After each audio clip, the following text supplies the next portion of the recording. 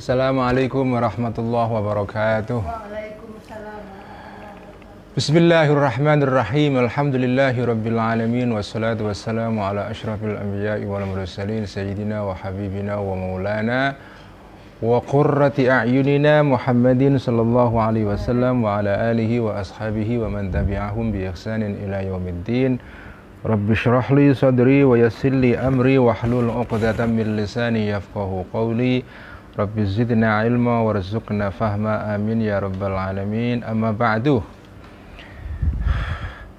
Mari kita mulai dengan membaca Al-Fatihah.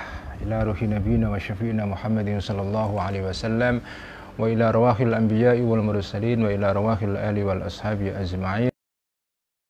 الأنبياء والشهداء والصالحين وإلى أرواح العلماء الصالحين والمؤلف والمؤلفين والمصنفين خصوصا مؤلف هذين الكتابين العظيمين.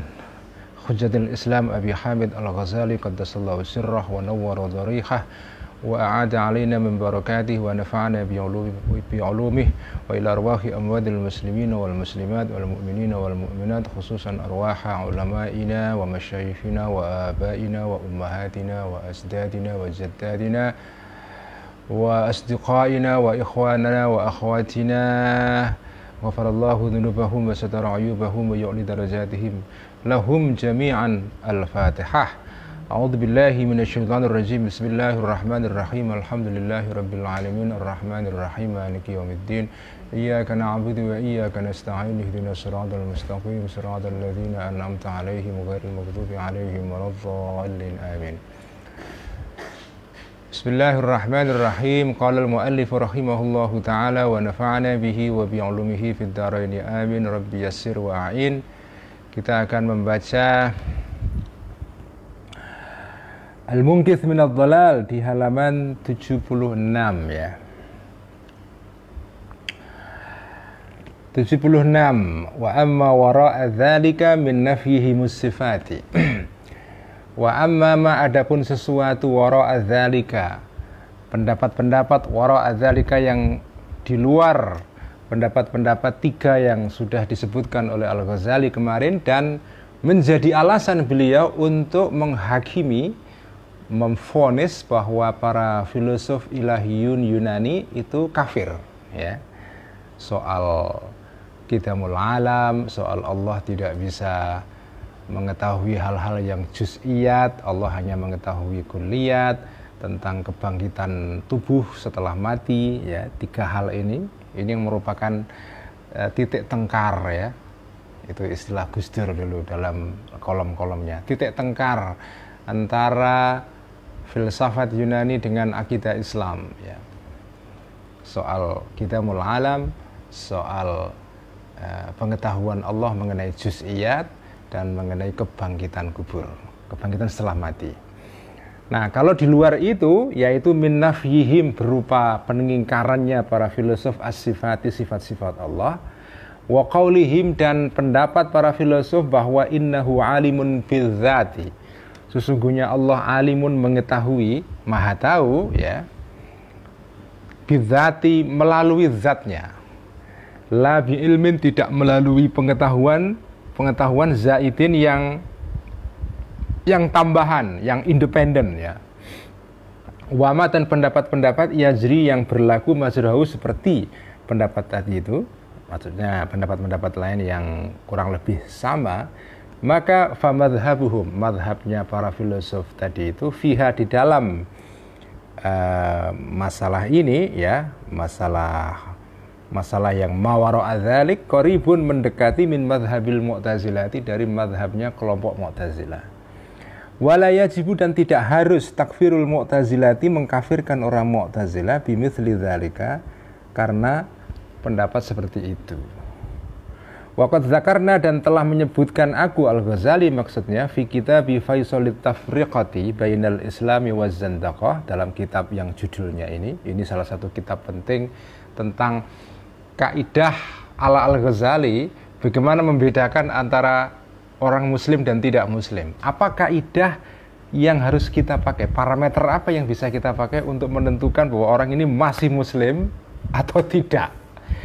dia masih muslim atau sudah zindik. Zindik itu artinya sudah menyeleweng dari akidah Islam. Nah, Al-Ghazali menulis kitab khusus itu judulnya Faisalut Tafriqah Bainal Islami wa Zandaqah yang sudah diterbitkan dalam bahasa Inggris. Uh, menarik di diterjemahkan dan dikasih kata pengantar yang keren sekali oleh salah seorang sarjana muslim Amerika yang orang hitam ya namanya Profesor Sherman Jackson uh, dia nulis uh, mengenai buku ini diterjemahkan dan dikasih kata pengantar oleh beliau sangat bagus sekali Sherman Jackson salah satu sarjana muslim Amerika yang saya sukai karena tulisannya mendalam alim orangnya mengikuti mazhab maliki akidahnya asyariyah sarjana muslim yang termasuk cemerlang ya saat ini. Dia lulusan dari University of Michigan ya dari Ann Arbor. Tempat kuliahnya Habib Fajri Ismail Ismail Fajri Alatas. Ya suaminya Samara Amani itu.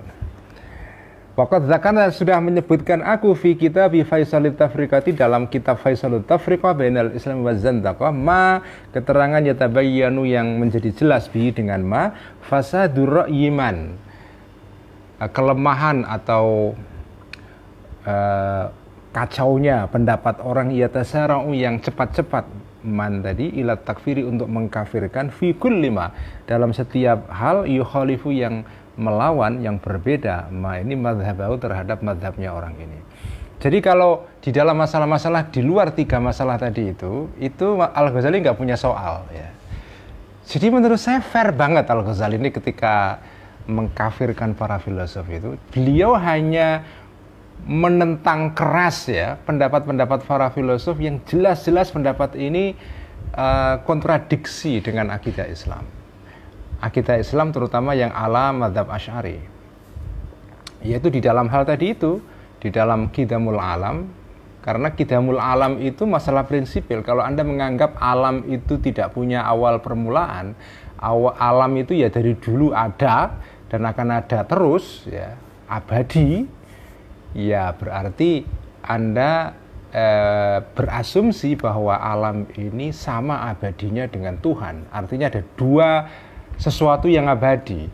Artinya ada dua Tuhan. Itu sudah sama dengan syirik sebetulnya. Kemudian ketika anda beranggapan bahwa Allah itu hanya mengetahui hal-hal besar tidak hal-hal kecil, itu menafikan prinsip pokok dalam agama di mana Tuhan itu hadir terus dalam kehidupan kita. Tidak Tuhan yang hanya berdiri ongkang-ongkang di atas aras sana, tidak terlibat di dalam tadbirul uh, al-malakut ini ya atau tadbiru alam syahada mengurus alam raya ini. Karena salah satu prinsip penting dalam akidah Islam kan bahwa kita yakin Allah ini ya hadir dalam kehidupan kita. Tidak Allah yang seperti bos besar yang hanya duduk ongkang-ongkang tidak mau tahu mengenai apa yang yang uh, dirasakan, dialami oleh makhluknya ini. Allah yang tidak mendengarkan doa doa-doa hambanya ya Allah yang menyertai orang-orang yang sedang mengalami penderitaan jadi memang kalau anda baca literatur filsafat modern ya Allahnya para filosof itu memang agak lain dengan Allah dalam dalam pandangan orang beragama. Allahnya para filosof itu Allah yang ya mirip kayak Allahnya Einstein, Spinoza, yaitu Allah yang jauh di langit sana, tidak ngurus apa yang dikerjakan manusia. itu tadi saya gambarkan kayak Allah dalam dalam filsafat deisme jadi deisme itu artinya pandangan bahwa Allah itu kayak tukang jam. Ya. Tukang jam itu ketika bikin jam, terutama jam Swiss itu loh yang kalau sudah dibikin udah nggak pakai batu, dia jalan sendiri. Kalau mau hidupin dia tinggal dikocok-kocok aja. Digerak-gerakkan begini, hidup lagi. Nanti kalau mati gerakkan lagi hidup sendiri. Jadi jam ini sesudah sudah dibikin oleh pembikinnya sudah dia jalan sendiri aja. Karena di situ sudah ada sistem internal dalam jam itu yang jalan sendiri. Nggak perlu intervensi dari pembikin jamnya ini. Tukang jamnya setelah selesai membuat jamnya ya sudah dia nggak mau tahu. Atau nggak ngurus. Itu udah urusan pembeli itu. Dia ongkang-ongkang. Itu namanya Tuhan kaum deis ya. Deisme. Tuhan yang jauh dari makhluknya nah kira-kira Tuhannya para filosof itu begitu itu memang memang para filosof itu membayangkan Tuhan itu kayak sesuatu yang indah platonis yang tidak harus disertakan dalam urusan kecil-kecil dalam kehidupan manusia. Itulah Tuhannya para filosof. Karena filosof itu membayangkan Tuhan kayak seorang pecinta yang sedang membayangkan orang yang dicintainya. Sesuatu yang platonis itu, yang jauh, yang indah di langit sana, tidak ngurus masalah bumi. Itu Tuhannya para filosof. Tuhan yang platonik. Nah kalau orang beragama, Tuhannya lain Orang beragama itu setiap kali sholat, setiap hari sholat, doa, bahkan dalam hadis diterangkan Allah itu selalu pada sepertiga malam yang terakhir turun ke bumi dan mendengarkan siapa pun yang berdoa. Bahkan Allah digambarkan di dalam Al-Quran bahwa Allah itu lebih dekat kepada hambanya daripada urat nadi atau urat lehernya sendiri. Artinya Allah itu begitu dekat dengan kita, begitu bersahabat dengan kita. Apalagi Allah dalam pandangan para sufi itu dekat banget. Jadi Allah bukan sesuatu yang kayak tukang jam Swiss itu enggak. Makanya pendapat para filosof yang mengatakan Allah itu hanya mengetahui kuliat tidak juz'iyat itu sama dengan kita menganut filsafat deisme. Ya tadi itu Tuhan yang jauh, bukan Tuhan yang innallaha ma'as sabirin. Bukan Allah yang anta'budallaha ka'annaka tarahu fa illam takun tarahu fa yaraka bukan Tuhan yang uh, turun setiap malam pada sepertiga malam terakhir bukan Tuhan yang ud'uni astajib lakum itu Tuhan yang dekat dengan hambanya ya. Tuhan yang mendengarkan keluhan hambanya karena itu ada namanya munajat munajat artinya adalah keluhan kita kita lapor kita berkeluh kesah kepada Allah Tuhan yang dekat ya. bukan Tuhan yang platonik ya. bukan dan terakhir kebangkitan tubuh pada setelah mati itu prinsip penting dalam akidah Islam ya. Ya kalau anda nggak setuju nggak apa-apa. Tapi itulah prinsip di dalam akidah Islam. Nah kalau urusan-urusan lain seperti pendapatnya para filosof ya yang mengatakan bahwa Tuhan itu tidak punya sifat. Karena kalau punya sifat berarti ada dua Tuhan.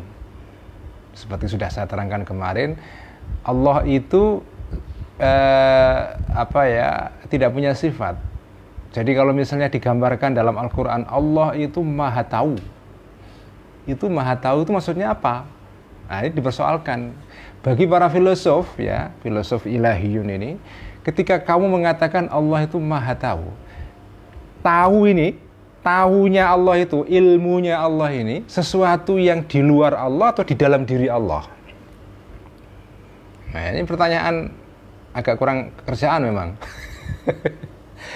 Allah itu ketika disebutkan di dalam Al-Quran Innallaha alimun khabir Allah itu maha tahu Itu tahunya itu bagaimana? Modus pengetahuannya itu dengan bagaimana? Modalitas pengetahuannya itu Dengan cara apa?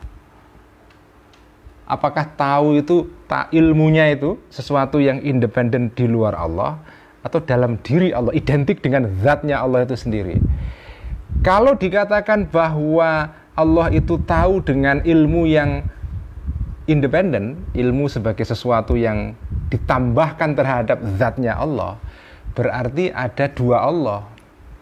Ada dua hal yang bersifat kodim, yaitu Allah sendiri dan ilmunya Allah. Karena ilmunya Allah berarti tidak mungkin bersifat hadis, bersifat anyar teko, baru, pasti kodim juga sama dengan Allah juga. Nah, kalau kita mengatakan Allah itu maha tahu dengan pengetahuan yang kodim juga berarti ada dua hal yang kodim Allah dan ilmunya. Berarti sama dengan dua Allah. Karena itu mereka para filosof itu nggak mungkin Allah itu maha mengetahui dengan pengetahuan yang berada di luar diri Allah seperti sesuatu yang ditambahkan. Kayak saya punya tambahan berupa saya punya gadget misalnya itu kan ada saya, ada gadget saya. Ya, itu itu yang membuat para filosof keberatan kalau Allah itu punya sifat. Lalu bagaimana memahami ayat-ayat di dalam Quran misalnya Allah Maha Tahu.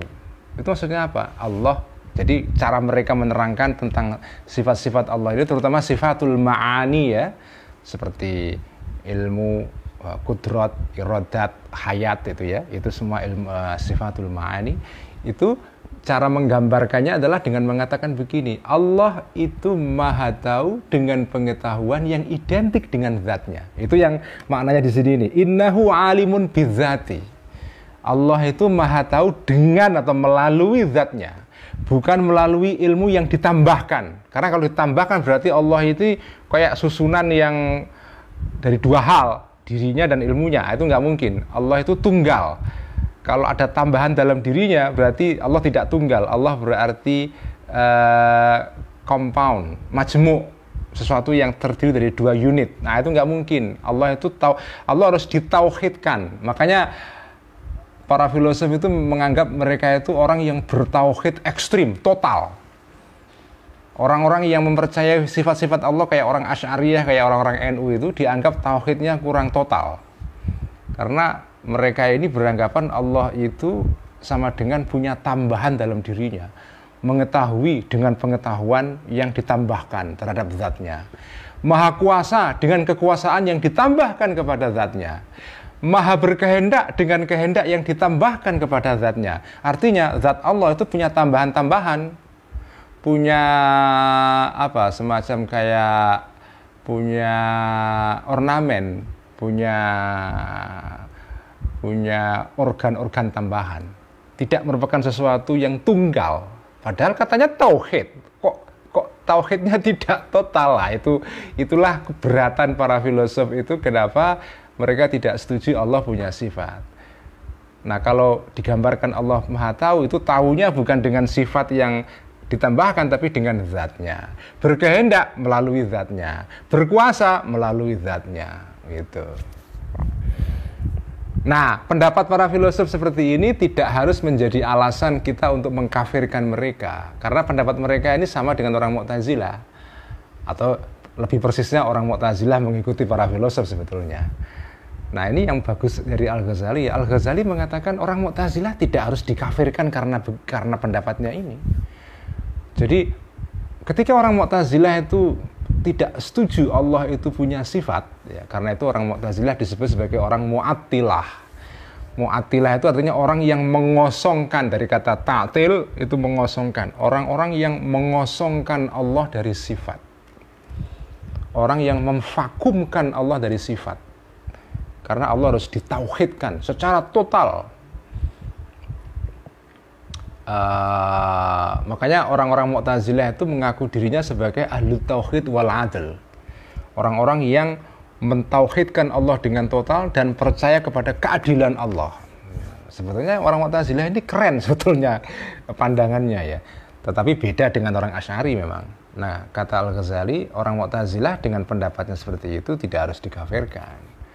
Dan Al-Ghazali menyebutkan kitabnya tadi itu Faisalut Tafriqah Bainal Islami wa Zandaqah silakan dibaca. Mungkin satu saat akan saya baca kitab ini ya. Ini kitab yang penting sekali karena di situ Al Ghazali uh, me, membuat atau menuliskan atau uh, apa ya uh, menyusun tentang parameter bagaimana cara menentukan orang itu muslim atau zintik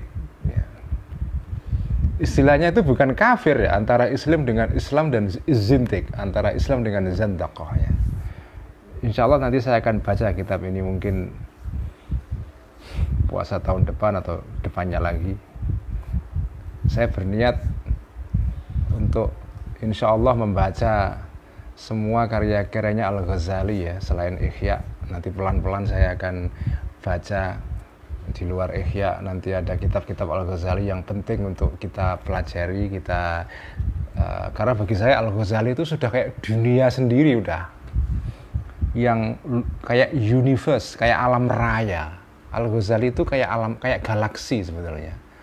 Di dalam Al Ghazali itu ada sistem berpikir yang bercabang-cabang. Dalam berbagai bidang dalam fikih dalam akidah dalam tasawuf dalam hal-hal yang kita butuhkan untuk beragama. Ada kitab-kitab yang sederhana seperti uh, Bidayatul Hidayah, ada yang rumit seperti kitab Tahafudul Falasifah, ada yang mystical sekali kayak Ihya atau uh, Mishkatul Anwar misalnya. Ada yang bersifat teoritis, epistemologis seperti Al-Mustasfa. Itu semua uh, ingin saya baca pelan-pelan. Semoga saya diberikan umur oleh Allah untuk bisa melaksanakan rencana ini ya dan diberikan kesehatan. Wa ya sekarang kita masuk kepada uh, pembahasan berikutnya. Bagaimana dengan apa itu uh, bidang ilmu yang lain dalam filsafat? Kan sudah dibahas riyadiyat, tabi'iyat, ilahiyat ya. Uh, sekarang kita masuk ke bagian yang berikutnya wa ammasiyasiyat ada riyadiyat, ada mantikiyat, ada tabi'iyat, ada ilahiyat, sudah kita bahas semua. Itu jenis-jenis dari ilmu pengetahuannya para filosof. Sekarang yang bagian yang ini bukan filsafat yang disebut dengan al-falsafah an-nazariyah ya. Filsafat yang teoritis. Jadi kayak tabi'iyat, kayak ilahiyat, eh, riyadiyat itu semua nazariyah, bersifat teoritis, tidak terapan itu semua adalah ilmu-ilmu teoritis ya. bukan ilmu terapan. Nah, kalau yang dua bagian terakhir ini ini terapan yaitu politik dan filsafat etika. Wa amma sia-sia adapun yang bersifat sia-sia, pendapat-pendapat para filosof yang bersifat terkait dengan filsafat politik ya. Fajami'u kalamihim maka semua pendapat-pendapatnya para filosof ini fiha di dalam siasiat ini yarji'u kembali ilal hikami kepada uh, hikmah-hikmah atau kebijaksanaan-kebijaksanaan al-maslahiyati yang bersifat maslahat al-muta'alliqati yang berkaitan bil umuri dunyawiyati dengan perkara-perkara keduniaan. Wal iyalati dan dengan kekuasaan as-sultaniyati yang bersifat kesultanan atau politik ya. Wa inna ma dan sesungguhnya mengambil para filosof ini mingkutubillahi dari kitab-kitabnya Allah Ta'ala al-munazzalati yang diturunkan alal anbiya'i terhadap para nabi wa minal hikami dan dari hikmah-hikmah al-ma'thurati yang diambil an salafil anbiya'i dari para nabi-nabi kuno dulu yaitu para nabi-nabi Israel sebelum ya, sebelum para filosof Yunani muncul ya jadi kalau dalam bidang filsafat politik ini Al-Ghazali sebetulnya nggak punya keberatan karena hampir semuanya itu terkait dengan masalah kemaslahatan umum. Artinya ini menarik ya. Jadi jadi sekali lagi Al-Ghazali itu fair di dalam mengkritik filsafat Yunani itu. Masalah politik, filsafat politik, filsafat uh, Aristoteles atau Plato yang berkaitan dengan masalah politik ya, itu nggak soal itu. Karena menurut keyakinan Al-Ghazali, itu semua gagasan-gagasan filsafat politiknya para filosof Yunani itu hanya terkait dengan satu soal saja, kemaslahatan umum. Dan sumbernya itu bukan murni dari mereka, tapi dari sumber-sumber yang dulunya berasal dari wahyu, dari wahyu kenabian entah itu nabi-nabi yang ada di Timur Tengah seperti nabi-nabi dari Bani Israel atau nabi-nabi yang ada di daerah timur di India, di Persia itu kan semua kan di sana ada nabi-nabi juga ya. Nabi-nabi kan tidak hanya di tanah Arab saja atau di tanah Israel tapi juga ada tempat-tempat lain. Jadi jadi ilmu-ilmu itu sebetulnya kalau ditelusuri sumber-sumbernya dari nabi juga. Jadi nggak usah dipersoalkan. Wa ammal khuluqiyatu adapun filsafat para filosof Yunani yang berkaitan dengan filsafat etika fajami'u kalamihim maka semua pendapatnya para filosof ini fiha di dalam khulukiyah yarji'u kembali ila hasri sifatin nafsi kepada uh, meringkas atau menghitung me menjelaskan secara secara komprehensif sifat-sifatnya jiwa wa akhlakiha dan akhlak-akhlaknya jiwa. Wa dzikri ajnasiyah dan dan dan menjelaskan tentang jenis-jenisnya sifat dan akhlak ini. Wa anwa'iha dan tipe-tipenya akhlak. Wa kaifiyati mu'alazatiyah dan cara untuk mengobati akhlak-akhlak yang buruk. Wa mujahadatiyah dan memerangi akhlak-akhlak yang buruk ya wa inna ma dan sesungguhnya mengambil para filosof ini ha terhadap filsafat khulukiyah ini mingkalamis sufiyati dari pendapat-pendapat dan ucapan-ucapannya para ahli tasawuf. Wahum dan para sufia ahli tasawuf itu siapa maksudnya? Al-muta'allihun, orang yang punya orientasi ketuhanan, yang bersifat ilahi. Muta'allihun itu istilah yang khas di dalam filsafat irfani ya, filsafat yang bersifat gnostik, filsafat yang seperti Ibnu Arabi itu ya.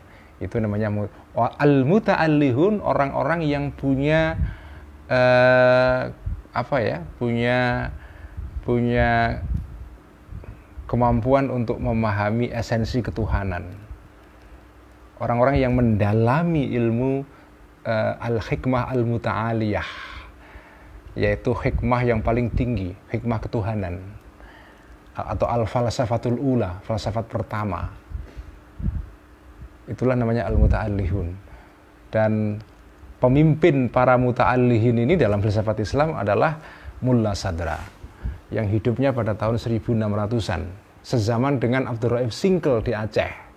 Sezaman dengan Syekh Abdul Muhyi Pamijahan di Tasikmalaya.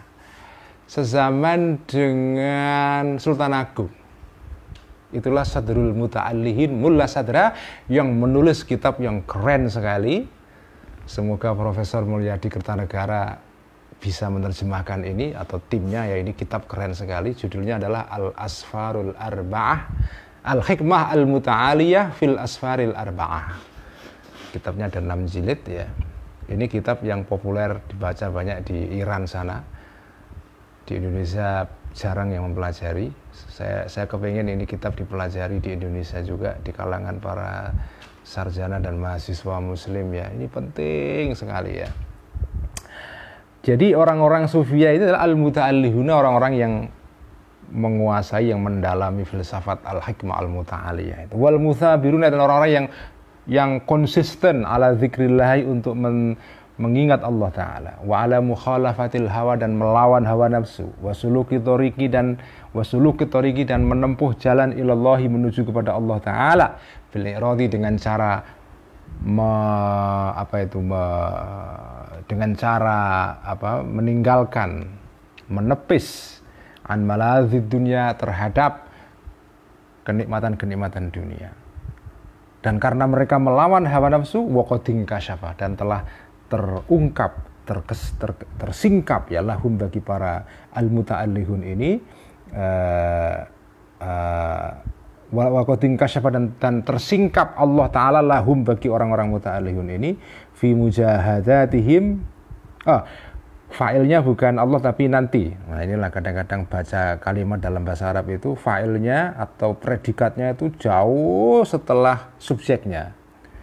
Wakotin kasyafa dan uh, sungguh uh, terungkap lahum bagi para muta'alihun fi mujahadati di dalam perangnya para muta'alihun tadi itu dalam perang melawan hawa nafsu min akhlakin nafsi berupa akhlak-akhlak uh, jiwa wa ayubiha dan cacat-cacatnya apa kelemahan-kelemahan jiwa wa afati a'maliha dan bahaya-bahaya pekerjaan-pekerjaannya nafsu apa yang terungkap? Ma sesuatu. Ini failnya kan jauh sekali ma sesuatu sorohu yang menjelaskan para muta'alihun ini biha eh, apa itu dengan eh, ya tadi itu eh, al akhlak wal afat dan seterusnya. Kemudian fa'akhoda maka mengambil mengimpor ha terhadap ini uh, filsafat khulukiyah ini al falasifatu para filosof dari para sufi-sufi ini jadi para filosof mengambil dari para sufi-sufi ini wa mazaju dan mencampurkan para filosof ini ha terhadap hulukiyah tadi itu bikalamihim dengan pendapat mereka sendiri. Tawasulan karena apa? Karena berusaha atau bertawasul karena dengan tujuan tawasulan dengan tujuan untuk sampai ya kita jamuli dengan uh, apa itu dengan apa itu bersolek atau bermanis-manis biha dengan khulukiyah tadi itu tawasulan untuk sampai bita jamuli dengan cara bermanis-manis atau ber apa bersolek ya biha melalui khulukiyah ini ila tarwiji batilim untuk memasarkan pendapat-pendapatnya para filosof yang batil, yang lemah ya. Jadi kalau filsafat yang terkait dengan masalah etika sebetulnya sumber pendapat para filosof-filosof Yunani ini bersumber kebanyakan dari para sufi-sufi ya. baik sufi-sufi yang ada di kalangan tradisi Yunani sendiri ataupun dari luar tradisi Yunani dan kadang-kadang itu dicampur aduk dengan pendapat-pendapat mereka yang lemah, yang batil sehingga dalam masalah hulukiyah ini kita harus hati-hati juga ya karena madhab sufi di dalam filsafat Yunani itu kan bermacam-macam ya.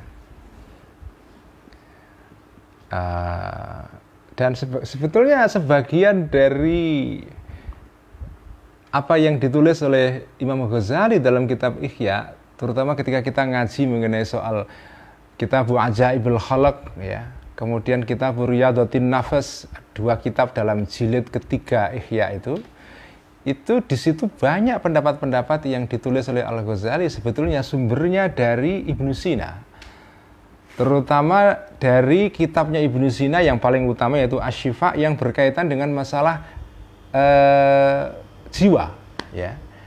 Yang kitab apa tentang masalah an-nafas ya jiwa. Karena dalam kitab Ashifa-nya Ibnu Sina itu ada bagian khusus mengenai pembahasan soal jiwa jiwa manusia. Menarik sekali. Kalau kita baca bukunya Ibnu Sina dalam kitab Ashifa mengenai jiwa ini itu mirip ya dengan apa yang ditulis oleh Al Ghazali dalam kitab, kitab Ihya ini. Dan Ibnu Sina sumbernya adalah dari Aristoteles. Dari bukunya Aristoteles yang terkenal itu di Anima mengenai masalah jiwa manusia itu ya. Artinya apa? Ya Al Ghazali sebetulnya dalam masalah hulukiyah ini hal-hal yang berkaitan dengan filsafat etika masalah jiwa, Al-Ghazali sebetulnya mengambil banyak dari filsafat Yunani.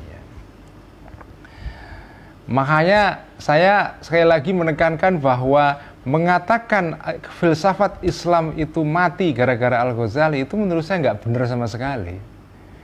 Wong Al-Ghazali masih mengambil banyak filsafat Yunani dan di dan di dan diadopsi tentu dengan cara yang tidak bertentangan dengan akidah Islam ya di, di diambil dimasukkan di dalam struktur ajaran Al Ghazali sendiri di dalam seluruh ajaran Al Ghazali dalam kitab Ihya terutama dan itu kemudian menjadi bagian dari kitab Ihya atau kitab-kitab Al Ghazali yang lain jadi bagaimana bagaimana filsafat bisa dibilang mati wong itu masuk dalam kitab Ihya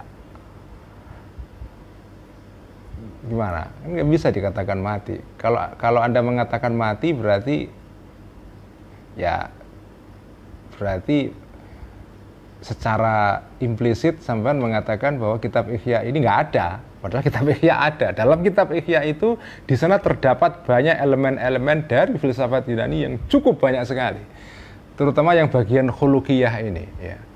Banyak sekali itu diambil dari kitabnya Ibnu Sina dalam kitab Ashifa dan Ibnu Sina dari Aristoteles dalam kitabnya De Anima ya, mengenai masalah jiwa manusia. Uh, makanya makanya orang yang mengatakan Al Ghazali membunuh filsafat itu menurut saya eh, kurang cermat ya.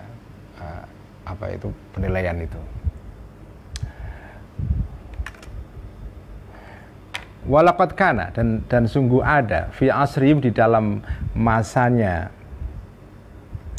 para filosof ini Yunani bal fi asrin. Nah, ini ini pernyataan penting sekali ini.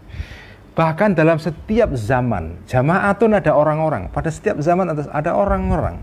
Minal muta'allihina berupa orang-orang para orang-orang yang yang yang muta'allihun, yang punya kesadaran tentang Allah ya orang yang mendalami ilmu uh, tadi itu al-hikmah, al-muta'aliyah, tasawuf falsafi, kira-kira begitu itu al-muta'alihun ya. La yukhli yang tidak mengosongkan Allah Allah Ta'ala al-alama dunia anhum dari muta'alihin ini. setiap zaman itu selalu ada al-muta'allihun. Setiap zaman, termasuk zaman Yunani. Zaman sebelum Islam ada orang-orang al-muta'allihun, yaitu orang-orang yang mendedikasikan hidupnya untuk menempuh jalan rohani menuju kepada Allah. Setiap zaman selalu ada al-muta'allihun. Plato, Aristoteles, eh, mungkin setelahnya ada apa itu Plotinus ya itu semua kategorinya adalah al muta'allihun orang-orang yang mengikuti tasawuf atau filsafat uh, apa itu uh, stoicisme atau stoik ya yang itu banyak juga sebagian mempengaruhi kitab Ihya itu adalah para al muta'allihun jadi setiap zaman selalu ada al muta'allihun Kenapa Allah tidak mengosongkan dunia dari para muta'alihun setiap zaman? Karena fa'innahum sesungguhnya para muta'alihun ini autadul arti adalah uh, apa itu? Adalah uh, paku bumi. Adalah paku-pakunya bumi itu autad ya. Jadi paku bumi itu bukan raja apa di Solo bukan, tapi ini paku bumi ini adalah para wali-wali al-muta'allihun bibarokatihim berkat eh, keber, berkat ber, karena berkahnya para muta'allihun ini tanzilu turun ar-rahmatur rahmat ala ahlil ardi kepada penduduk bumi. Kama warada sebagaimana datang fil khabari dalam hadis haitsu qala di mana bersabda kanjeng Nabi Muhammad sallallahu alaihi wasallam bihim yumtaruna wa bihim yurzaquna. Bihim berkat para orang-orang ini, orang-orang cagak bumi ini, karena dalam hadis dikatakan di bumi ini ada sebagian hadis mengatakan ada ada tujuh pajak bumi atau bukan pajak eh, patok bumi, paku bumi. Ada yang mengatakan 12, ada yang mengatakan 40 autat ya atau abdal istilah yang dipakai bisa abdal, bisa autat. Meskipun istilah ini kadang-kadang dibedakan pengertiannya di dalam beberapa istilah tasawuf ya. Jadi di bumi itu, itu ada orang-orang yang disebut sebagai autat, yaitu orang-orang yang jadi pakunya bumi. Menjadi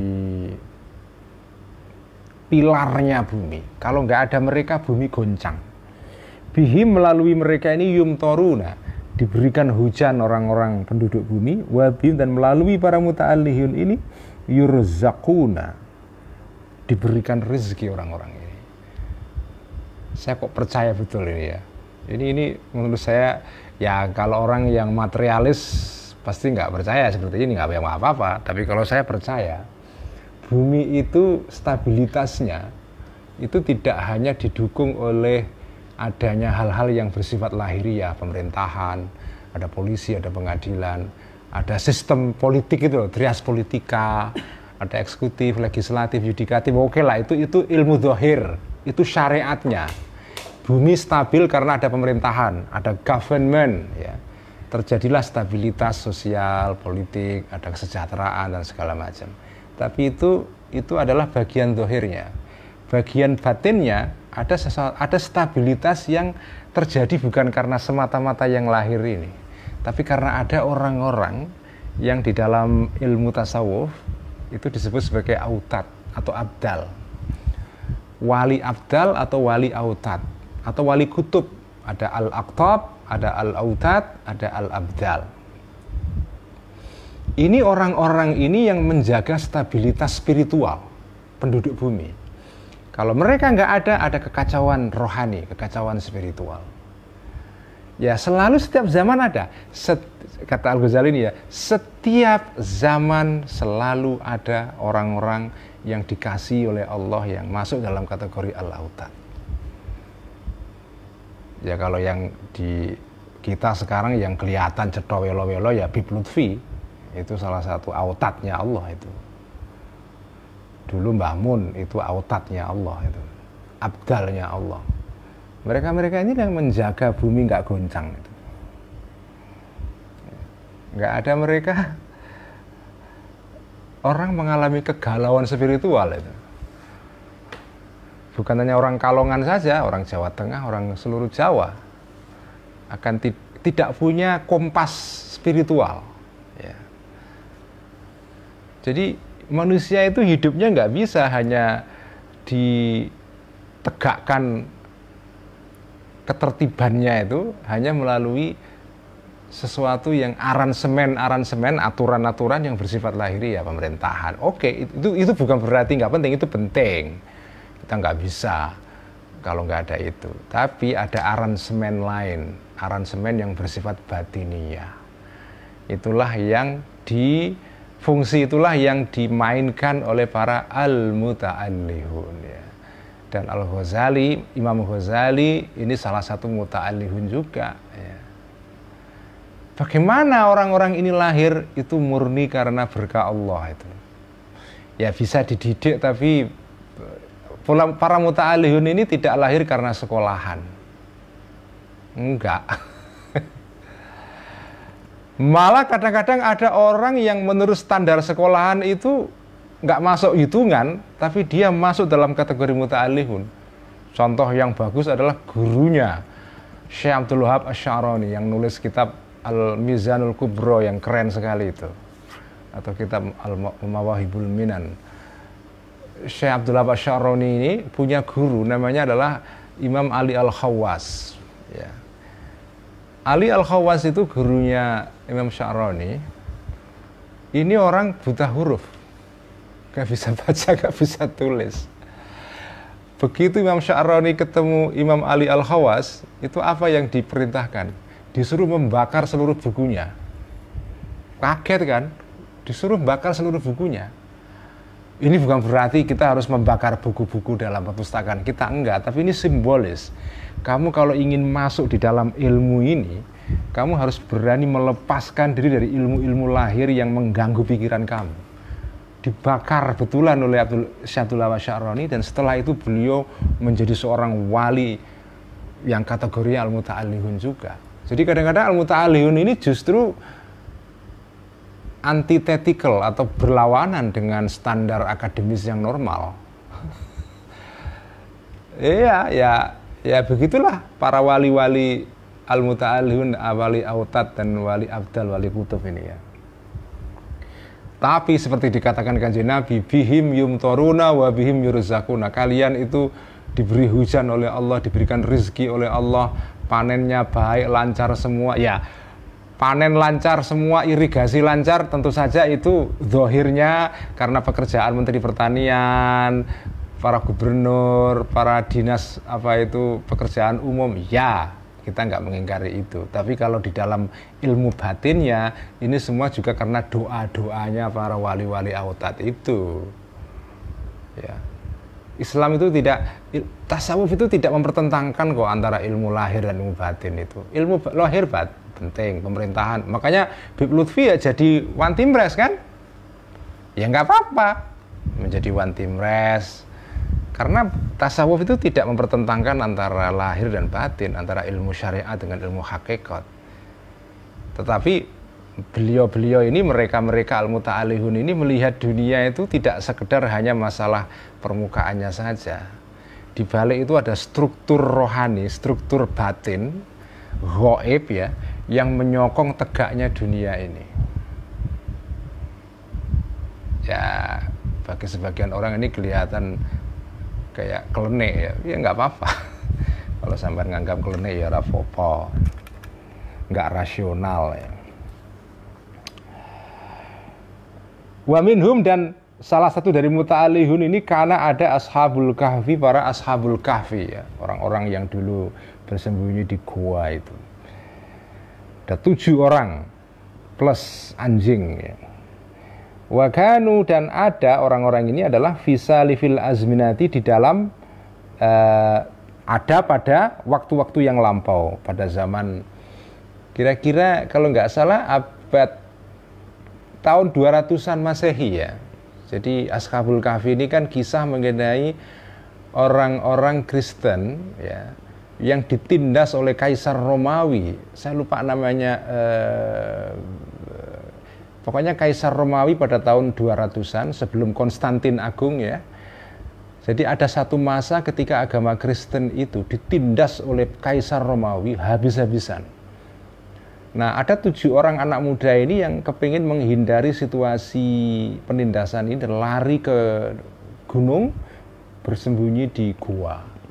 Kemudian mereka di dikehendaki oleh Allah untuk untuk tidur selama 300 tahun terus bangun lagi sebagai saksi mengenai. Ketika mereka bangun pemerintahan di Romawi berubah sudah. Semula anti Kristen begitu mereka bangun sudah ada Konstantin Agung yang menerima Kristen sebagai agama resmi. Eh, saya nggak tahu bangun saya kira setelah Konstantin ya.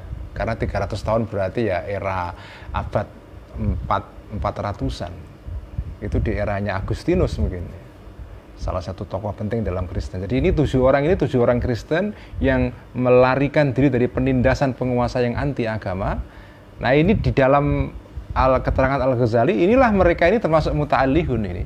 Alama sesuai sesuatu nah tokoh yang menerangkan bihi dengan ma ini atau berkata uh, bihi dengan ma ini Al-Qur'anu Quran. Quran fatawallada maka muncullah min masjihim dari mencampurkannya para filosof ini kala menubuati terhadap pendapat atau ucapannya uh, ucapan kenabian atau para nabi-nabi wal wakalama sufiyati dan kalamnya para sufi-sufi begitu bihim dengan kitabnya mereka para para sufi-sufi ini eh, para filosof karena mereka mencampur adukan antara pendapat para nabi dan ucapan-ucapan para sufi dengan ucapan mereka sendiri, dengan pendapat mereka sendiri, muncullah afat ini dua bahaya.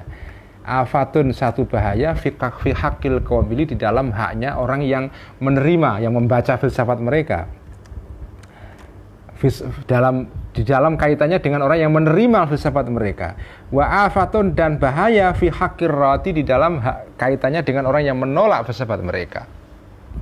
Yang menolak juga terkena bahaya, yang menerima juga terkena bahaya. Apa bahayanya itu? Kita baca besok ya. Wallahu a'lam. Alhamdulillahirabbil alamin. Bismillahirrahmanirrahim. Alhamdulillahirabbil alamin wassalatu wassalamu ala asyrafil anbiya'i wal mursalin sayyidina wa habibina wa maulana wa qurrati a'yunina Muhammadin wa ala alihi wa ashabihi ajma'in.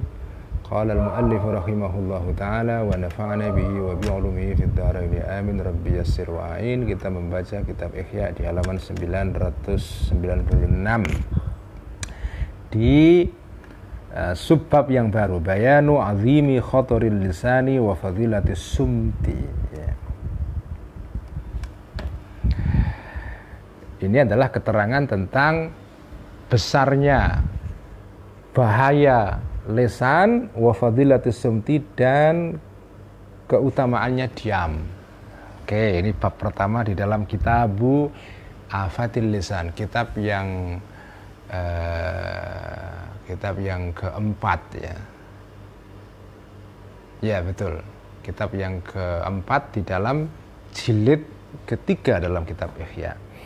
Ilam ketahuilah anna khataral lisan sesungguhnya bahaya cangkem mulut azimun itu besar sekali. Wala najata dan tidak ada keselamatan ada iku maujud ya. Uh, min khotorhi dari bahayanya lisan seperti ini illa bisumti kecuali dengan cara diam. Itulah cara satu-satunya mengatasi bahayanya mulut. Falidzalika karena itulah madaha memuji asyar'u agama asumta terhadap diam wahasa dan uh, mendorong asyara agama alaihi terhadap diam sebagaimana dikatakan oleh kanjeng Nabi faqala maka bersabda kanjeng Nabi Muhammad sallallahu alaihi wasallam man somata naja. Man barang siapa somata yang diam orang ini naja maka selamatlah orang itu Waqala dan bersabda juga kanjeng Nabi alaihi salam. Jadi kanjeng Nabi itu kadang-kadang didoakan dengan sallallahu alaihi wasallam atau alaihi salam itu sama saja. Yang tidak lazim mungkin nggak pernah terjadi itu radhiyallahu anhu. Jadi ini doa-doa ini beda-beda ya.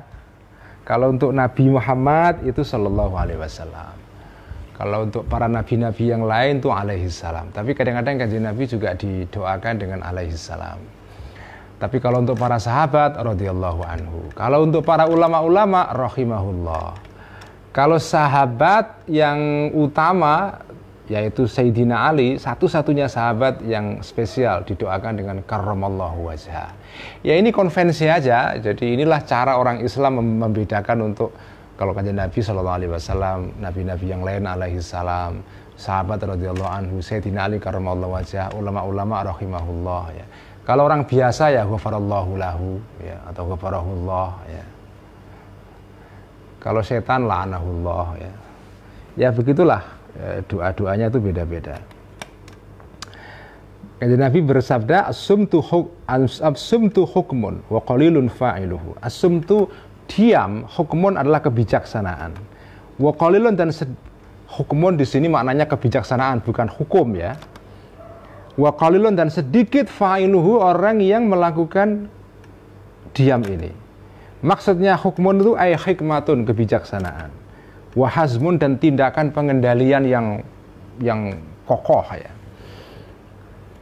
Waruwiya dan diriwayatkan an Abdillahi ibni Sufyana dari eh atau warawa bukan war, waruya warawa dan mengisahkan meriwayatkan Abdullah bin Sufyan Abdullah bin Sufyan seorang tabi'in ya an abi dari bapaknya Abdullah bin Sufyan yaitu Sufyan Kala berkata bapaknya Abdullah bin Sufyan, Kultu mengatakan aku yaitu bapaknya Abdullah bin Sufyan, Ya Rasulullah. Bapaknya itu sahabat ya. Kultu mengatakan aku yaitu bapaknya Abdullah bin Sufyan alias Sufyan. Karena kan Abdullah anaknya Sufyan. Ya. Kultu berkata aku, Ya Rasulullah, wahai Rasulullah.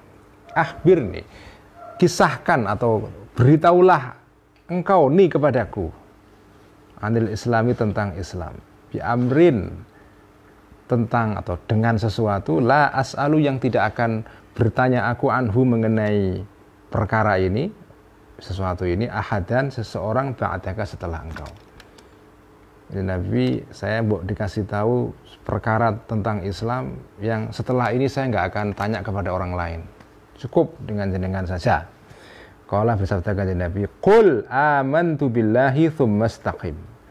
Qul berkatalah engkau, tentu berkata bukan sekedar berkata saja tapi juga berkata yang diikuti dengan keyakinan dalam hati ya. Aman tu iman Allah billahi dengan iman aku billahi dengan Allah. Setelah itu semastaqim, kemudian konsistenlah. Dah itu aja sederhana. Imanlah kamu kepada Allah dan konsisten dengan itu itu sudah cukup kamu menjadi seorang muslim yang baik. Kala berkata bapaknya Abdullah bin Sufyan tadi itu, yaitu Sufyan, Kultu bertanya aku juga, Fama attaqi, Fama maka apakah attaqi sesuatu yang harus aku menghindari terhadap ma ini? Fa'auma maka berisyarat, mengisyaratkan kajian Nabi biadi dengan tangannya kajian Nabi ilarisani kepada mulutnya kanjeng Nabi. Ini loh yang harus kamu hindari itu. Kamu jaga ya. Waqala dan berkata Uqbah bin Amirin, sahabat Uqbah bin Amir.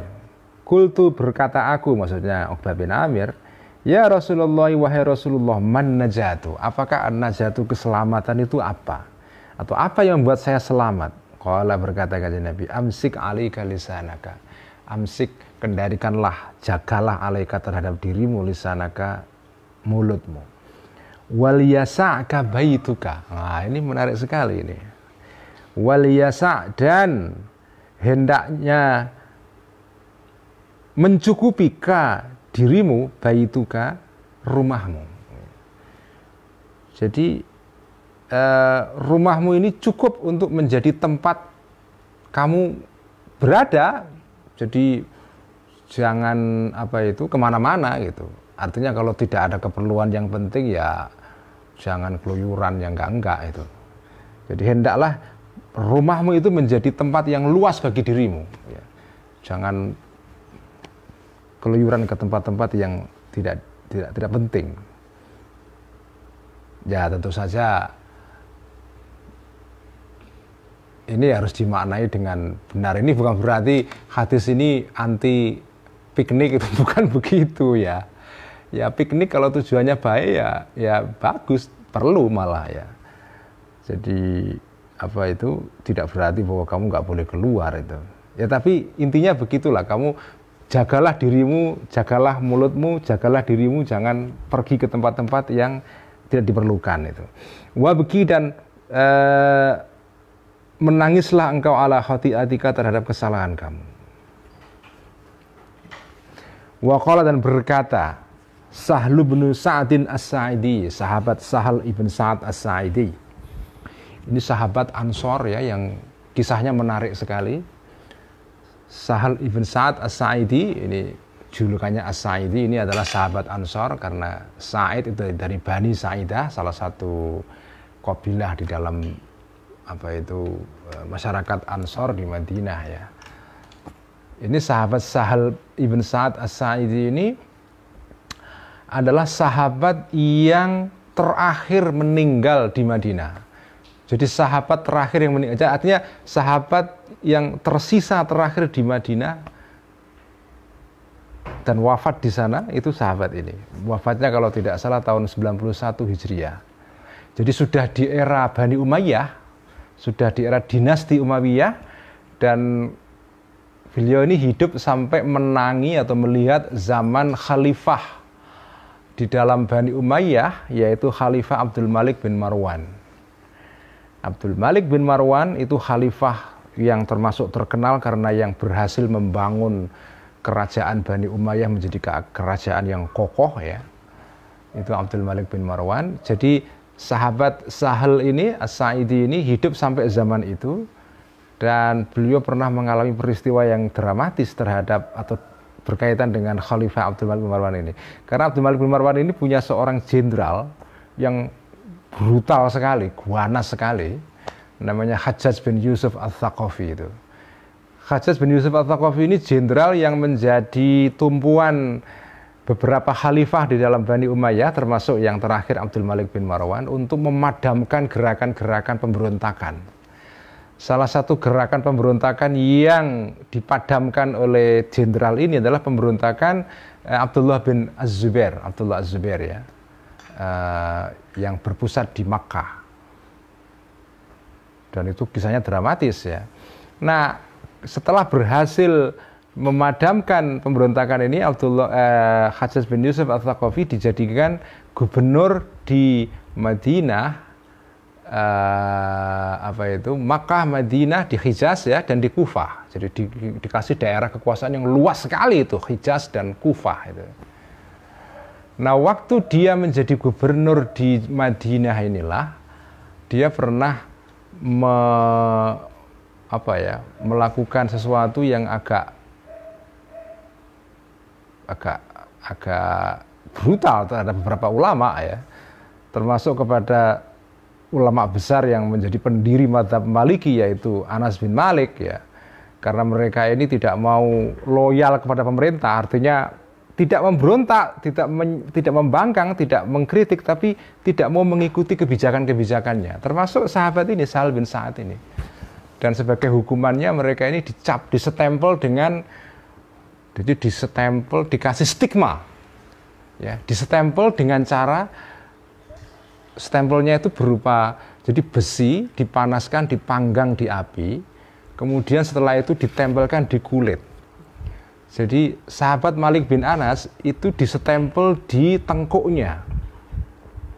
Tengkuk apa tangannya? Kalau nggak salah tengkuknya. Disetempel supaya menjadi pertanda inilah orang yang tidak mau loyal kepada pemerintah. Termasuk ini sahabat Sa'ad bin Sahal bin Sa'ad As-Sa'idi ini. Ini sahabat yang juga sama di stigma. Stigma itu artinya disestempel dengan pakai apa eh, besi yang panas sekali disestempelkan ke mereka ini ya. Qala apa kata sahabat Sahal ibn Sa'ad as-Sa'idi ini? Qala bersabda Rasulullah Rasulullah sallallahu alaihi wasallam, "Man yatakaffal bima baina lahyaihi wa rizlaihi." Man uh, barang siapa yatakaffal yang mau menanggung, mau apa itu melakukan ya menanggung me, uh, menjamin ya, ya takafal yang mau menjamin li bagiku bima terhadap sesuatu bainalah yaihi di antara dua rahangnya rahang rahangnya orang ini warizlaihi dan dua uh, kakinya orang ini. Siapa yang mau menjaga anggota tubuh yang di antara dua rahang yaitu mulut dan di antara dua kaki yaitu organ vital, menjaga farjinya maksudnya, maka atakafal, maka akan menjaga aku. Lahu bagi orang ini bil jannati, menjamin aku lahu bagi orang ini bil jannati dengan surga itu. Bil jannati dengan surga. Ini sebelum saya bacakan hadis berikutnya, saya ingin interupsi sebentar sesuai dengan permintaan Mbak Admin. Sebelum saya teruskan, saya ingin membacakan beberapa nama. Saya Mbak Admin menyebutnya santri-santri ikhya teladan. uh, saya ber, berterima kasih sekali karena ada beberapa orang yang perlu dimention disebut secara khusus ya. Pertama ini dalam daftarnya Mbak Admin, saya mengikuti daftarnya Mbak Admin dan setuju saya ya. Pertama adalah Mas Nanang di Berau, di Berau, Kaltim ya. Di Kalimantan Timur ini Mas Nanang ini luar biasa, konsisten ikut ngaji Ikhya hampir sudah dua atau tiga tahun. Dan beliau ini ngaji harus harus sengaja nginep di kantor supaya dapat uh, wifi karena kalau di tempat kos-kosannya nggak ada wifi. Masya Allah luar biasa Mas Nanang. Terima kasih sudah konsisten ikut ngaji ya. Semoga jenengan sekeluarga diberikan berkah dalam hidup, diselamatkan oleh Allah dalam kehidupan, diberikan kemurahan rezeki dan kesejahteraan ya, keberkahan. Juga Mas Azroi di Timika Papua ini juga sudah konsisten sejak awal ikut ngaji Ihya Mas Azroi, matur nuwun, terima kasih. Kemudian ini eh, Pak Dimung Paryono, ini orang yang termasuk kategorinya muta'alihun ini. Eh, bagi saya ini seorang wali ini. Dari Sayung Demak, Pak Dimung, terima kasih, matur nuwun. Kemudian ada Mbak Evi Ghazali dari Lampung. Terima kasih Mbak Evi yang sudah terus mengikuti ngaji Ikhya juga Mbak Janet di Yogyakarta istrinya Mas uh, Ainul Yakin ya yang juga konsisten ngaji dari awal sejak ada grup uprek yang sekarang sudah berguguran semua. Ada Mbak Dayu Toyibah ada udah kayaknya Mbak Dayu sudah enggak oh Mbak Viro masih ya? Tapi dia sering telat. Uh, Mbak Viro masih. Tapi Mbak Dayu Toyibah kayaknya kok nggak ada suaranya sekarang ini Mbak Dahlia Umar di Jakarta, istrinya Mas Atoilah ya. Terima kasih Mbak Dahlia. Ah, ini juga penting Mas Fathan Bolu ya. Mas Han Bolu dari Gorontalo. Mas Fathan, saya pernah ke Gorontalo diantar ke mana-mana oleh Mas Fathan. Terima kasih Mas Fathan. Saya kapan-kapan kepingin ke Gorontalo lagi, kepingin menghadiri uh, apa haulnya uh, guru sepuh di Palu Habib siapa namanya? Asegaf di sana ya. Saya kepengen eh, saya kepengen datang ke sana. Kemudian juga Bib Abu Nawar Basyeban dari Palembang yang sudah ngirim pempek. Terima kasih, pempeknya enak banget. Teman-teman dari luar negeri, dari Turki, Jepang, Korsel, Kenya, itu kalau ngaji di Kenya begini ini menjelang maghrib. Jadi enak teman-teman. Itu di Kenya ngaji begini pas ngabuburit ya. Swedia dari Swedia Jerman ada dari Uni Emirat Arab ya. Uh, dan terakhir ini yang nggak boleh saya lupakan ada dua orang yang perlu disebut secara spesial yaitu uh, Ajengan Aki Udin ini Kiai dari muridnya Kiai uh, apa Ilyas Ruhiyat uh, Cipasung Tasikmalaya bapaknya guru bapaknya Ki Ajengan Aki Udin ini ini adalah muridnya uh, Mama Sempur dari uh, Purwakarta. Ulama besar dari Jawa Barat ya. Mas Rifki di Tegal Ahmad Rifki yang sudah menikah agak lama tapi masih mambu-mambu pengantin baru. Uh, yang ini dua ini Ajengan Aki dan Mas Rifki ini yang selalu menyediakan teks ikhya di kolom komentar supaya teman-teman bisa ikut ngaji. Ini matur nuwun sekali kepada semua teman-teman yang juga teman-teman yang lain yang ikut ngaji ya. Saya saya berterima kasih ya. Semoga ya semua saya akui sebagai santri ikhya saya.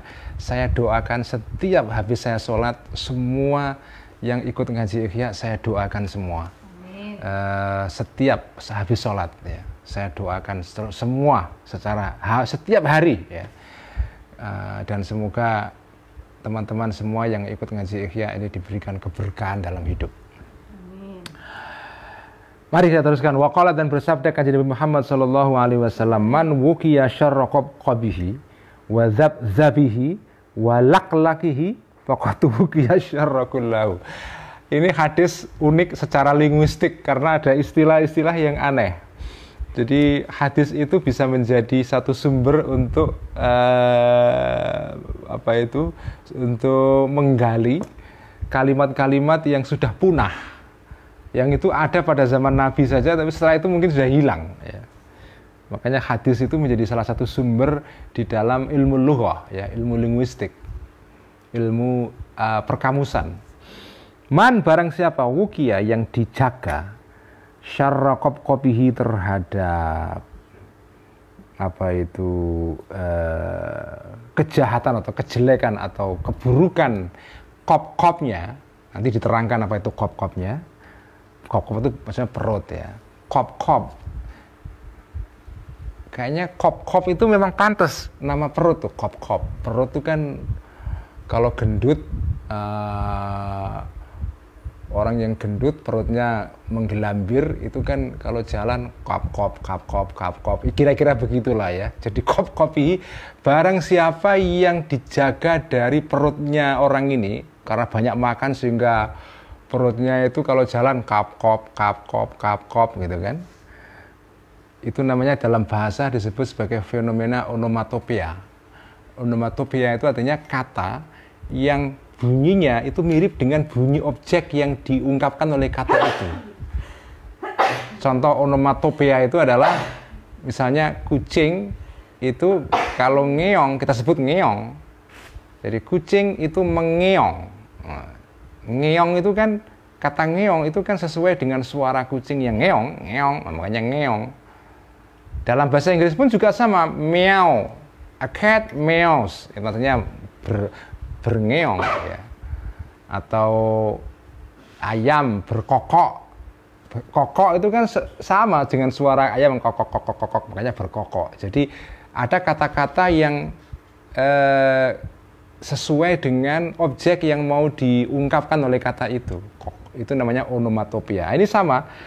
Man barang siapa wukia dijaga orang ini syarrokop kopihi terhadap uh, keburukan atau bahaya yang timbul dari perut orang ini yang kalau gendut suaranya kop kop kop kop kop kop. Wadab zabihi dan organ vitalnya orang ini zab zabihi itu juga sama zab zab ya organnya laki-laki gitu kan kira-kira kan gitu. Apalagi kalau nggak pakai sempak kan. Zabi kayak di pondok dulu kan nggak pakai sempak gitu. Walak lagi dan lesannya orang ini. Suara lesan itu kan kalau makan jadi kayak lak laki gitu kan. Jadi ini ini semua dari dari masuk dalam kategori fenomena linguistik linguistik namanya fenomena kebahasaan namanya onomatopea ya. Yaitu kata yang persis dengan bunyi barangnya. Orang yang bisa menjaga perutnya, farjinya, organ vitalnya dan mulutnya, maka fakot ya maka sungguh telah dijaga orang ini asyara terhadap keburukan, kejahatan, kulau semua. Pokoknya kalau orang bisa menjaga perut, alat vital, mulut, selesai udah hidup bahagia. Kop kop, zap zap, lak lak. Itu kata kuncinya ya. Diingat-ingat. Kop kop, zap zap, lak lak. Apa maknanya? Al kop kopu, kop kop, huwa al batnu perut ya. Wadzab zabu dan zap itu al farju farji. Walak laku dan lak lak al lisanu adalah apa itu e, mulut ya. Fahadhi syahwatu maka semua syahwat-syahwat ini asalatu yang tiga biha melalui syahwat tiga ini yahlaku menjadi rusak aktarul khalqi sebagian besar orang-orang. Walidzalika karena itulah istaghalna uh, istaghalna uh, sibuk aku atau uh, perhatian aku Al Ghazali maksudnya bidzikri afatil lisani untuk menerangkan bahaya-bahaya mulut ini lamma farohna setelah selesai aku min zikri afatis syahwat ini setelah menjelaskan bahaya dua syahwat yaitu al batni perut wal farji dan farji yaitu setelah beliau menjelaskan mengenai kitab syah kasri syahwatain. Setelah itu maka secara otomatis logisnya kan kemudian diikuti dengan keterangan mengenai soal bahayanya mulut. Jadi kasru syahwatain wa kasru afatil lisan. Pokoknya kalau tiga itu bisa dikuasai selesai hidup bahagia ya. Memang begini ya teman-teman ya. Ilmu tasawuf itu sebenarnya ilmu kehidupan ya. Ilmu urip sebetulnya itu kalau dalam istilahnya Ki Ageng Surya Mentaram itu ya filosof Jawa terakhir yang besar yang makamnya ada di Solo Tigo sana itu itu namanya kawruh bekjo jadi tasawuf itu sebenarnya kawruh bekjo yaitu ngilmu tentang bagaimana kita ini hidup bahagia. Karena hidup itu intinya apa sih? Kan bahagia aja kan. Kaya enggak itu kan ya relatif kan. Makanya sekarang ada satu indeks selain indeks mengenai per kapita penduduk, sekarang ada indeks kebahagiaan. Index of happiness ya. Dan kadang-kadang indeks of happiness itu tidak berkorelasi dengan indeks per kapita ada negara-negara yang tingkat per kapitanya tinggi, tetapi tingkat kebahagiaannya rendah. Nah, bangsa Indonesia itu per kapitanya rendah. Kita itu kan per kapitanya ya, di kisaran 4000 US dollar setahun. Orang Indonesia itu penghasilan rata-rata setahun itu kira-kira 4000 dolar. Kira-kira ya kalau sekarang dihitung itu ya 60 juta lah ya. Setahun itu rata-rata penduduk Indonesia mulai dari yang kaya sekali seperti bos jarum Pak Hartono itu sampai yang kuere sekali seperti teman-teman yang nggak punya kuota itu itu kalau dipukul rata begitu itu di kisaran itu 60 juta itu. Tetapi bangsa Indonesia dalam indeks saya lupa rankingnya berapa tapi negara Indonesia termasuk negara yang penduduknya bahagia. Jadi hidup itu ya yang penting pada akhirnya bahagia. Karena per kapitanya tinggi tapi kalau stresnya tinggi ya ngapain juga tekanan terhadap uh, kita begitu besar jadi kemerungsung kalau bahasa Jawanya untuk apa juga itu kan. Jadi itu. Nah apa sumber kebahagiaan? Jaga tidak hal tadi itu. Perut organ vital mulut. Dah, kalau itu kita jaga negara aman, masyarakat aman, orang juga aman. Ya. Wali uh, wakot suila dan telah di pernah ditanya ya.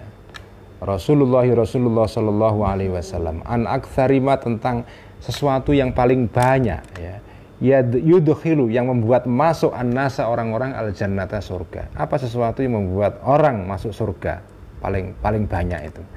Fakola maka ber, menjawab kanjeng Nabi takwallahi wa husnul khuluqi. Takwallahi sadar tentang Allah ya God consciousness ya. Allah hadir terus dalam hidup kamu. Jadi Allah itu bukan berarti takut Allah kayak Allah kayak bos besar yang kamu takuti. Istilah takut di dalam takwa itu menurut saya perlu dipahami secara hati-hati ya, bukan takut dalam pengertian takut ke seperti karyawan kepada bosnya, tapi takut dalam pengertian kamu awas terus. Kayak itu loh, kayak orang kalau nyupir itu kan kita harus awas lihat marka jalan, tanda-tanda lalu lintas, lubang di jalan, harus kapan harus belok ke kiri ke kanan, kapan ada apa itu lampu merah, berhenti dan seterusnya. Takwa itu maksudnya begitu itu. Kamu awas terus sehingga nyupirnya nggak ngawur. Itulah takwa itu. Apa itu ya? Kesadaran tentang kehadiran Allah yang terus-menerus dalam diri kita. Dan ini itu tidak harus jadi kiai besar kayak begini. Oh, ini kiai besar yang tidak takwa juga banyak, ya kan? Ya tentu kalau kiai mestinya harus takwa. Tapi ini ini pekerjaan yang semua orang bisa. Wong ini takwa itu tidak mensyaratkan kamu harus doktor atau master atau S1 enggak. Orang yang tidak berpendidikan pun itu bisa takwa. Bahkan tidak hanya takwa menjadi wali autat seperti gurunya tadi itu yang saya ceritakan Syabdullah Pasya'ron itu, uh, Syekh Ali Al-Khawas itu. Yang buta huruf tapi justru wali autat itu kan. Jadi takwa kepada Allah itu tidak terkait dengan level pendidikan. Wa husnul dan akhlak dan baiknya akhlak. Wasuila dan ditanyakan Nabi an aksarima tentang kebanyakannya sesuatu yudhilu yang bisa membuat masuk orang-orang maksudnya an-naro neraka. Fakola maka berkata kanjeng Nabi yaitu al-ajwafani dua lubang dua bolongan atau lubang alfamu lubang mulut wal farju dan lubang alat vital organ vital dua lubang inilah yang menjadi penyebab paling banyak orang masuk neraka fayahtamilu maka menjadi mungkin an yakuna ada al muradu yang dimaksudkan bil fami dengan lubang mulut di sini tentu Berarti bukan mulut itu seluruh mulut itu langsung menjadi sebabnya orang masuk neraka. Enggak, karena kan mulut itu bisa dipakai juga untuk ngaji. Ihya kayak begini kan bisa juga. Ya kalau ngaji ihya sih insya Allah ya membuat kita masuk surga lah ya. Kalau niatnya benar ya. Jadi yang dimaksud lubang mulut di sini menjadi sebab masuknya orang masuk neraka itu adalah eh, yang dimaksud di sini bil al muradu bil fami adalah afatil lisani khobarnya an yakuna afatil lisani afat afatnya atau bahayanya eh, cangkem atau mulut. Dan karena sesungguhnya mulut mahalluhu adalah dianukan sesungguhnya lisan yaitu lidah mahalluhu adalah tempatnya alfamu. Jadi ada dua istilah di sini harus dibedakan ya. Alfamu itu maksudnya mulut, organ mulut secara keseluruhan ini. Kalau al-lisanu itu adalah organ di dalam mulut yang paling vital yaitu apa? lidah. Jadi al-lisan itu lidah, kalau al-fam itu mulut. Wayahtamilu dan memper kalau bahasa pondoknya itu wayahtamilu lan memper ya.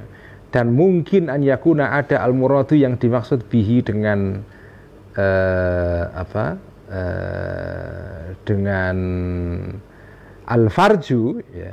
Eh dengan al fam dengan cangkem dengan al fam tadi mulut tadi al batnu al batna ya adalah perut. Atau yang dimaksud dengan tadi kan lubang mulut itu adalah sumber paling banyak yang menyebabkan orang masuk neraka jadi yang dimaksudkan di sini dengan mulut itu bisa maksudnya lidah atau yang dimaksudkan dengan mulut di sini adalah perut. Kenapa? Karena li'annahu karena sesungguhnya li, mulut alfam manfadu adalah tempat masuknya tempat uh, tempat lorongnya apa itu? Perut. Karena mulut itu ya gate-nya atau gerbangnya perut itu ya. Faqad qala. Maka sungguh telah berkata Muadz bin Jabalin sahabat Muadz bin Jabal sahabat yang terkenal sekali ini ya kultu berkata aku ya Rasulullah ya Rasulullah anu akhadu apakah dimintai tanggung jawab kami bima terhadap sesuatu nakulu yang mengatakan kami kami ini kalau berkata-kata itu diberi, dimintai tanggung jawab enggak aja Nabi Fakola maka berkata menjawab kanjeng Nabi, "Sakilat ka ummuka." Ini kata sakilat ka ummuka itu adalah ungkapan untuk apa ya? Semacam agak jengkel gitu loh, ya. Bisa agak jengkel, bisa maknanya itu ya sedang marah ya. Kira-kira gimana sih kamu ini? Ya, ya pastilah mulut kamu diminta tanggung jawab itu kira-kira gitu. Meskipun sakilat ka ummuka ini sebetulnya maknanya agak sedikit keras ya Sakilatkah semoga menjadi janda ka kepadamu umuka ibumu. Maksudnya ya itu maksudnya semoga ibumu jadi janda. Maksudnya kamu gimana sih? Ya pastilah mulut kamu dimintai tanggung jawab. Gitu. Fakilat ka ummuka ya bena jabalin. Wahal yakibun nasa. Wahal yakibun nasa uh, ini hal di sini maknanya adalah ini istifham pertanyaan tapi maknanya nafi ya untuk menafikan. Wahal yakibun nasa dan tidak membuat terjerumus annasa orang-orang finari di neraka ala manakhirihim uh, atas uh, congornya atau mulutnya pucuk mulutnya para orang-orang ini manusia illa itu al-sinatim kecuali hasil dari uh, hasil dari uh, mulut-mulutnya annas ini. Tidak ada sesuatu yang membuat orang masuk neraka kecuali terjerumus ke neraka di dengan berjerumus yang itu loh yang jungkel dengan ekstrim sekali karena jungkel di atas mulut itu. Sakit sekali kan. Orang terjungkal di neraka itu karena mulutnya. Wa dan berkata Abdullahi Abdullah sahabat Abdullah Ats-Tsaqafi qultu berkata aku ya Rasulullah ya Rasulullah sallallahu alaihi wasallam hadithni bi amrin a'tasimu bihi. Hadithni berceritalah engkau wahai Rasul ini kepadaku bi amrin tentang sesuatu. A'tasimu yang akan berjaga-jaga aku bihi melalui perkara ini. Sesuatu yang bisa saya jadikan pegangan gitu kira-kira gitu. Faqala maka Berkata kanjeng Nabi, "Kul Allahu." Jadi ini versi lain dari hadis sebelumnya yang diriwayatkan dari Abdullah uh, Abdullah bin Sufyan atau sahabat Sufyan ya. Kalau di sini, kalau tadi kan Kanjeng Nabi mengatakan sesuatu yang membuat saya itu masuk selamat dalam Islam ya. Apa itu? Tadi kan dikatakan kul amantu amantu billah tsumastaqim. Nah, kalau ini kul rabbiyallahu. Kul berkatalah rabbi Tuanku, Tuhanku, Allahu adalah Allah. Tsumastaqim kemudian konsistenlah dengan itu ya. Kul itu berkata aku yaitu sahabat Abdullah Al-Thaqafi Ya Rasulullah Wahai Rasulullah Ma akhwafu ma takhafu alayya Ma apakah akhwafu ma Sesuatu yang paling dikhawatirkan Takhafu yang khawatir engkau alayya kepada diriku fa'akhadha maka memeganglah kanjeng Nabi bilisani terhadap lesannya atau mulutnya kanjeng Nabi. Wa qala dan berkata kanjeng Nabi hadza, ini loh yang kamu yang aku khawatirkan terhadap dirimu gitu ya. Wa waruwiya dan dikisahkan anna Mu'adzan sesungguhnya sahabat Mu'adz bin Jabal qala berkata sahabat Mu'adz ya Rasulullah wa ya Rasulullah ayyul a'mali afdalu ayyul amali apakah tindakan-tindakan afdolu itu lebih utama. Fa akhraja maka mengeluarkan kanjeng Rasulullah Rasulullah sallallahu alaihi wasallam lisanahu kepada mulutnya kanjeng Nabi. Mulutnya dikeluarkan ya. Maksudnya melet ya untuk menunjukkan ya thumma wada'a kemudian menaruh kanjeng Nabi alaihi di atas mulutnya ini ya, isbi'ahu atau usbu'ahu atau uh, ada ca berbagai cara untuk membaca kata usbu'ahu, usbu'ahu, isbi'ahu atau asba'ahu. Ya, ada tiga versi. Isbi'ahu eh, jari-jarinya kan Nabi. Ini loh yang bikin kamu eh, sesuatu yang menjadikan kamu melakukan sesuatu yang paling mulia kalau digunakan dengan tepat. Waqala dan berkata Anas bin Malikin sahabat Anas bin Malik ya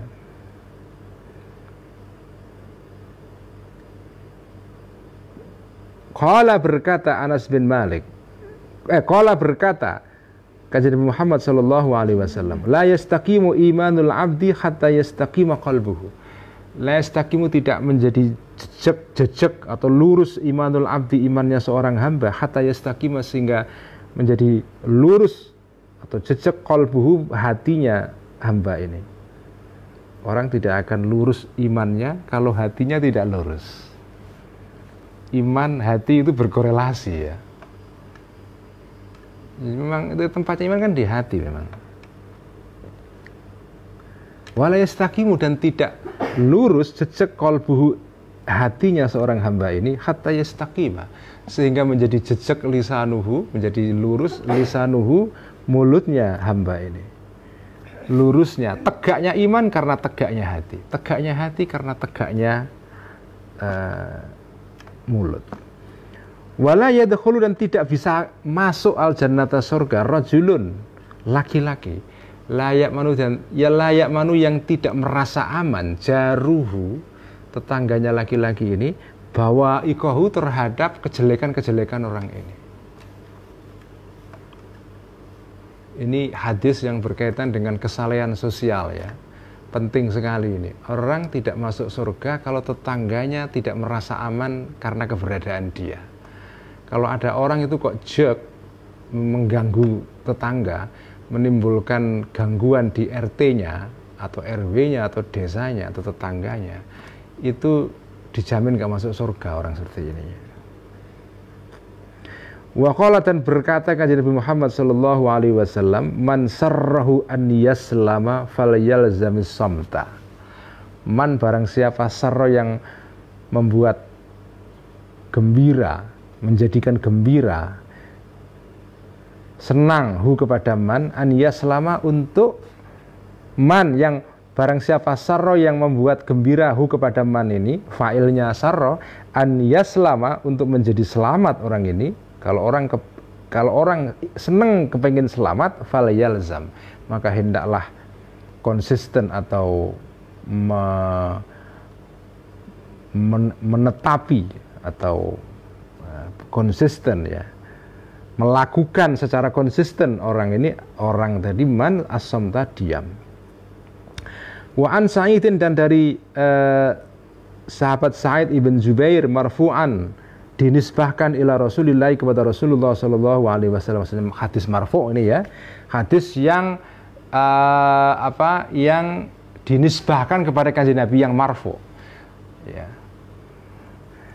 Uh, anna sesungguhnya Rasul ya Rasulullah Shallallahu Alaihi Wasallam ya Qala berkata kanjeng Nabi Ida asbaha ibnu Adama asbahatil a'dha'u kulluha tudzakkirul lisana Ida asbahat ketika masuk pagi ibnu Adam seorang anak cucu Adam maka asbahat masuk pagi. Maksudnya ketika waktu pagi datang maka asbahat masuk pagi al adau semua anggota-anggota badan kulluha semuanya tudzakiru ya uh, apa itu mengingatkan al adau ini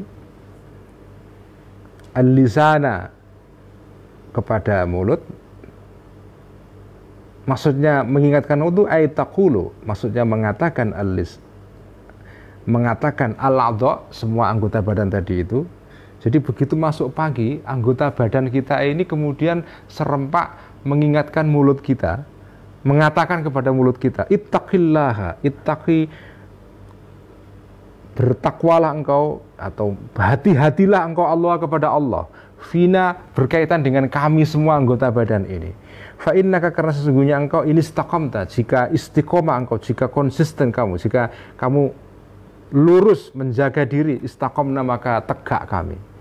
Wa in wa ini waj, wa ini wajasta dan jika bengkok kamu maka wajasna maka akan bengkok kami. Ya. kalau kamu bengkok maka kami juga akan bengkok semua.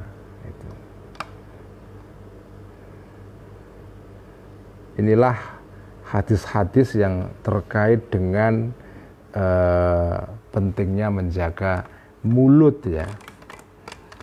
Saya kira sekian ngaji ya malam ini. Semoga kita mendapatkan berkah dari ngaji kita pada malam hari ini. Mari kita tutup ngaji kita dengan biasa membaca salawat tibil qulub. Bismillahirrahmanirrahim. Allahumma salli على سيدنا محمد طب القلوب ودوائها وعافية الأبدان وشفائها ونور الأبصار وضيائها وعلى آله وصحبه وسلم. اللهم صل على سيدنا محمد طب القلوب ودوائها وعافية الأبدان وشفائها ونور الأبصار وضيائها وعلى آله وصحبه وسلم. اللهم صلِّ على سيدنا محمد طب القلوب ودوائها وعافية الأبدان وشفائها ونور الأبصار